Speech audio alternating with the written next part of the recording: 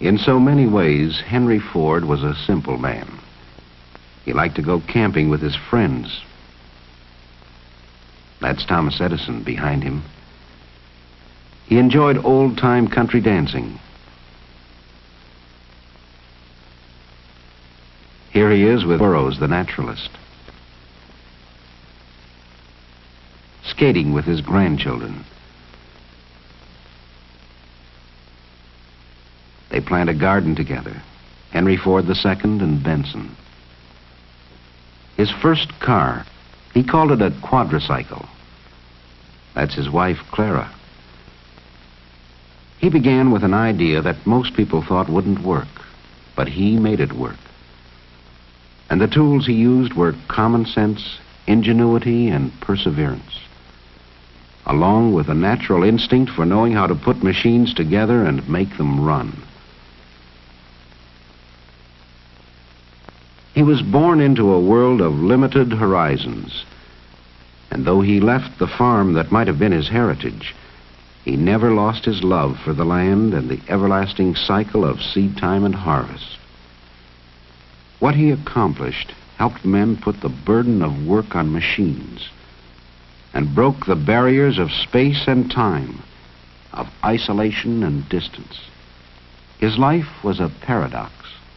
While his mechanical genius helped to change forever the lives of people everywhere, he sought to preserve in some permanent form a record of the world around him and his ever widening interest in it. He collected buildings the way others collect stamps and put them in a village where time stands still.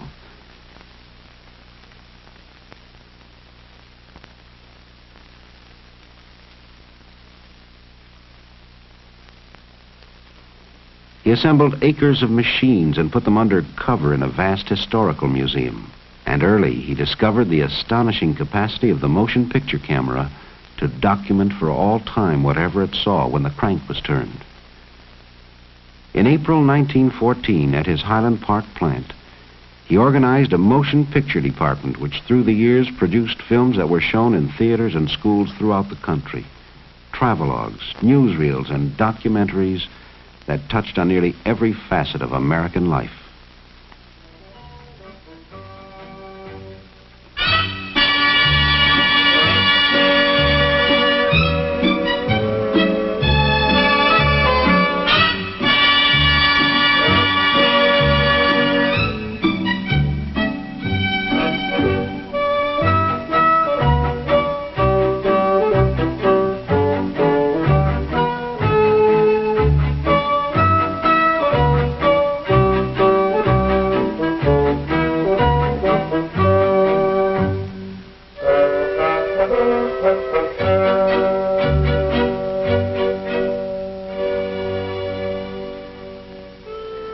Is the way the country looks in the years before the First World War.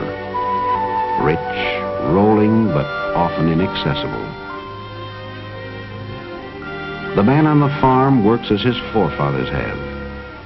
It's a hard life for man and beast.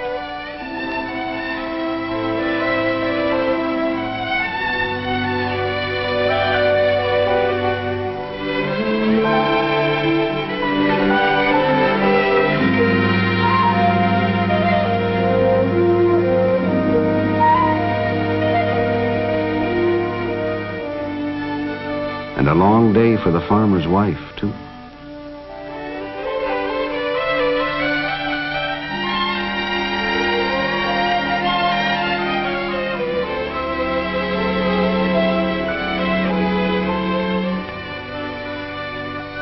Many a quiet evening at home, because there's no place to go and no light to read by. A man thinks twice before he goes to market on roads like this.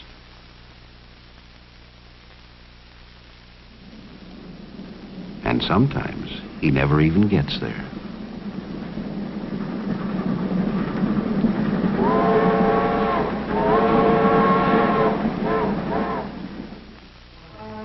It's a long walk to school on a muddy road. More fun to go by sleigh in the winter. During recess, there's time for a snowball fight. Of a climb up the old elm tree, if you've got the spunk for daring deeds like this.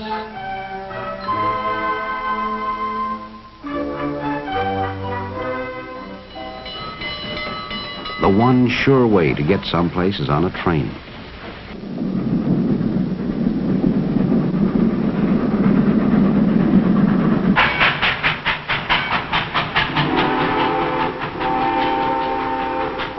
But you can only go where the tracks go.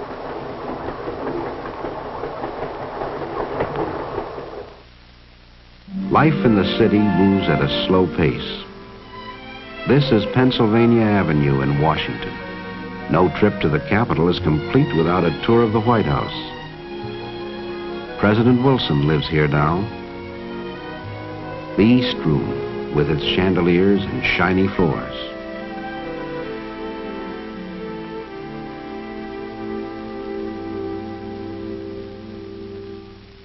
There's more hustle and bustle down at the market, Faneuil Hall in Boston, or in New York City on the Lower East Side.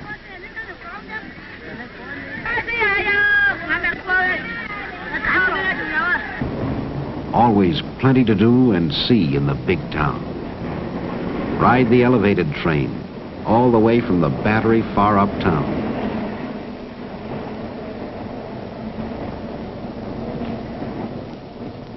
There's the Hippodrome, one of the big theaters in New York. Another way to see the city is a boat ride around Manhattan Island. All aboard. Watch out. Some city slicker may try to sell you the Brooklyn Bridge.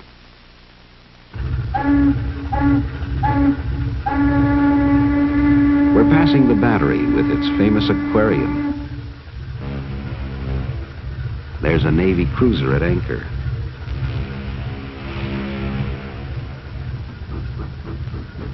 Great ocean liners along the Hudson River. Mighty tall buildings in New York City. The Flatiron Building, shaped like a triangle. And the Woolworth Building, 60 stories high, tallest in the world. Look at that traffic on Fifth Avenue.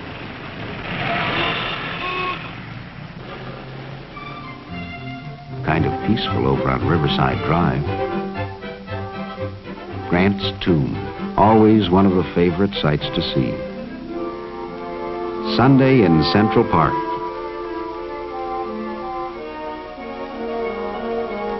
There's no place like it for a leisurely stroll or a boat ride on the lagoon.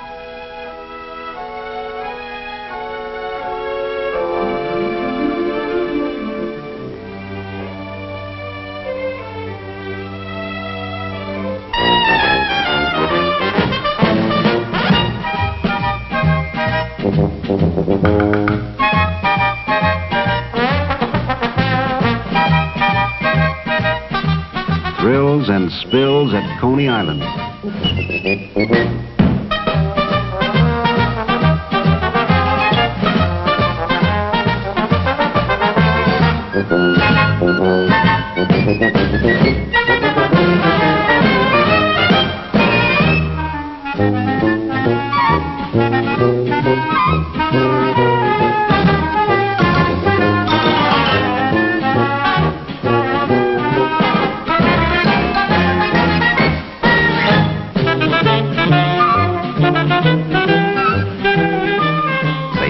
Some folks even get wet if the water's warm enough.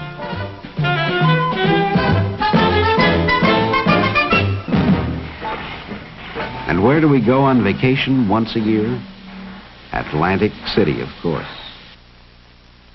No, that's not a real elephant. It's a hotel at the end of the boardwalk.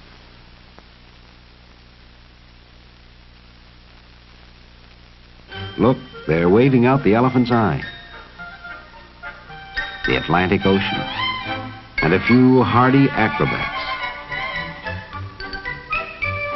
Most of the time, we'll stroll along the boardwalk or ride along in the rolling chairs.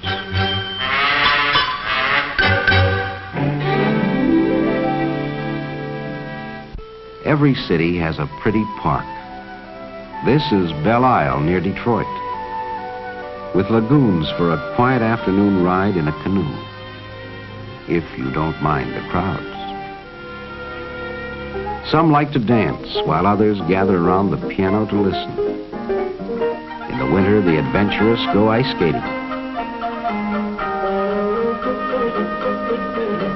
It's easy if you know how.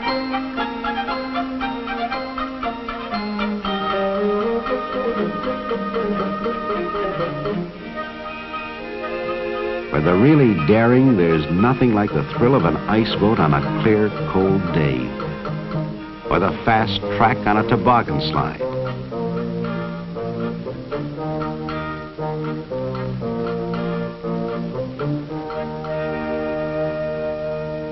And there's plenty of speed at an auto race once they get going.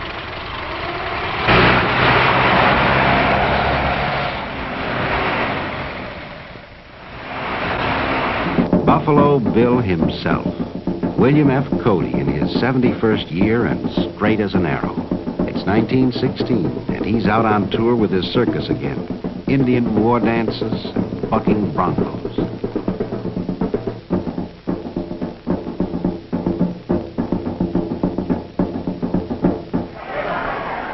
The opening of baseball season, and time to throw out the first ball.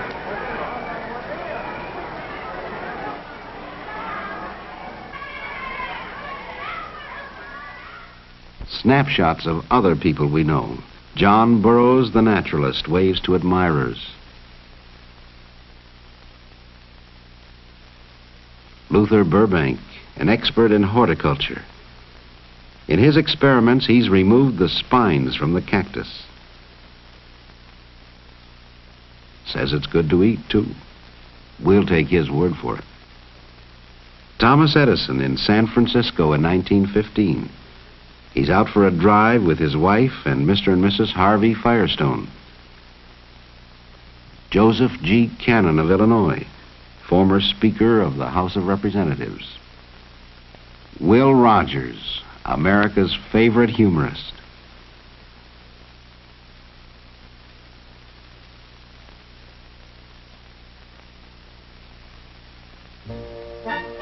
Out west, a few hardy souls visit Glacier National Park. They go for a climb. A little short on equipment, but strong in spirit.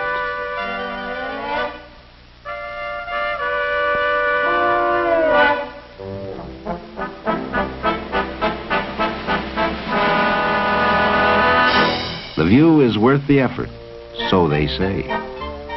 Uh-oh, there goes Dad.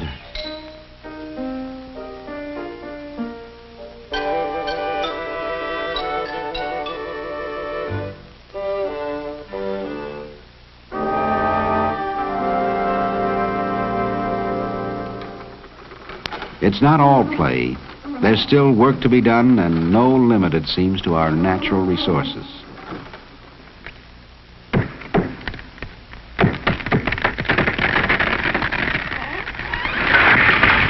The cameraman can't resist his little joke.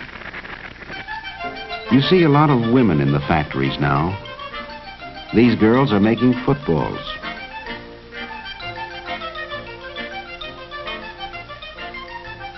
And these are making hats. There is a difference. Down at the post office, they're teaching the girls to sort the mail. One thing they learn in a hurry don't pick up too many at once. Too bad. Here's a clean place for women to work, and steady, too.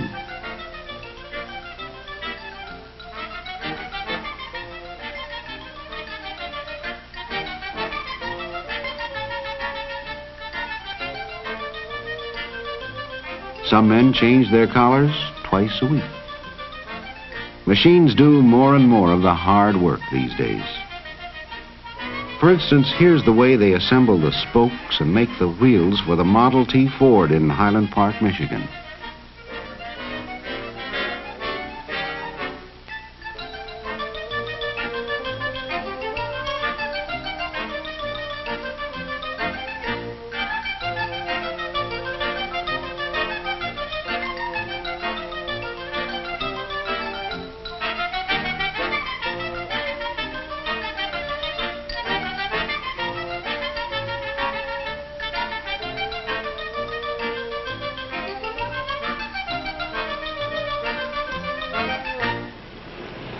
Eight-hour workday ends and the men go home, mostly by trolley.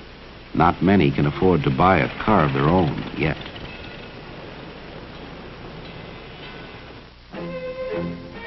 These men went home long ago, when the war between the states ended. But the hardy survivors, both blue and gray, still meet together once a year to renew old acquaintance. It's 1917, and they're camped at Vicksburg, Mississippi. What memories they must have. They have fought their war. While these raw recruits at Camp Custer in Michigan are being trained to fight another war.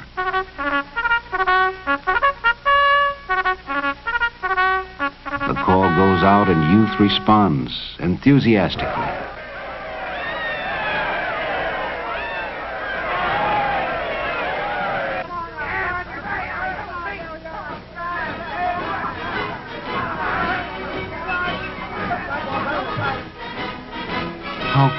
Know what lies ahead?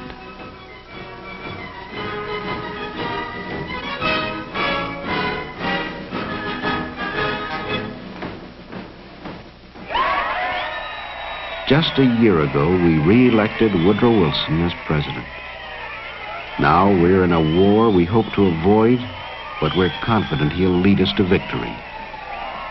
The mood of the nation changes. We talk about liberty loans and liberty cabbage.